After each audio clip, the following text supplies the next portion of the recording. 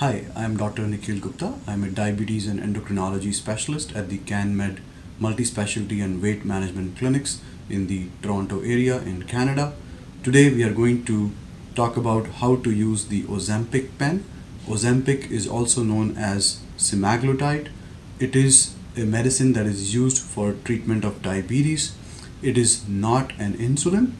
Before you use this medicine, please make sure that you have discussed the benefits and side effects with your doctor or healthcare professional and this medicine has been prescribed to you by a healthcare professional. So moving on to the medication, it is called Ozempic as we discussed and it comes in a box like this and it also comes with a box of needles that are used to inject the medicine uh, into our body. So to use the pen, the, the pen already comes pre-filled with the medicine which is a clear liquid which we have to make sure that it is clear before we use it. And it is used along with the needle. So here is how we use the pen. So we remove this plastic wrap from behind the needle and we screw the needle onto the pen like this.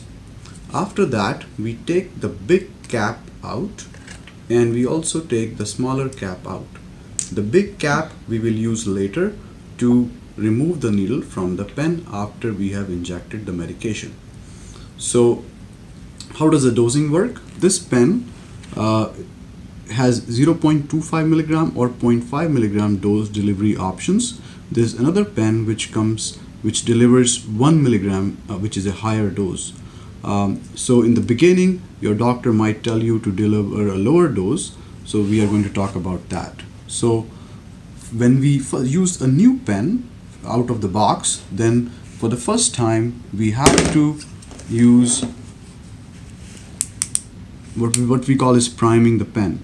So we have to go to this marker here which has two dots and we have to make sure that we push it out and we see a drop in, in the pen to make sure that the the pen and the medication and the needle are communicating and the pen is working. We do not have to do this step at subsequent injections with the same pen. We always do it for the first time. Now to deliver the actual dose, we go again, we look at the dose window here and we go to the first, usually the first lowest dose which is 0.25 milligrams. We dial that, we already have our needle in place and what we do is we usually inject it in our belly, in our abdomen, and it has to be at least two finger breadths away from the belly button. It could be more as well. So it has to be at least one inch away from the belly button to the sides on the abdomen. And then what we do is we do not have to pinch the skin of the belly. We go straight in like this, 90 degrees. We press the injector and then hold for five seconds and remove the medication, uh, the pen. So it is a very straightforward, simple process.